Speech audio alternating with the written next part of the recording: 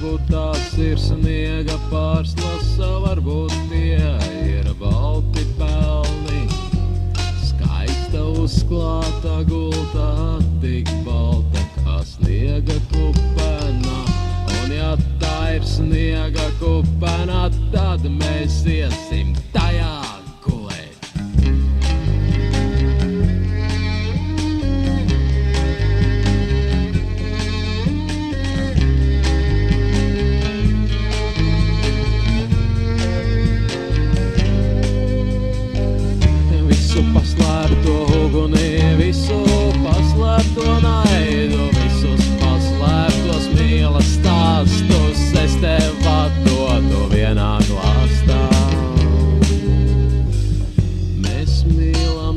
mīlam savus smaidus, kad tie pārvēršas par zvaigznēm, kad tie pārvēršas par lietu, tad mēs nevaram tiem iesist.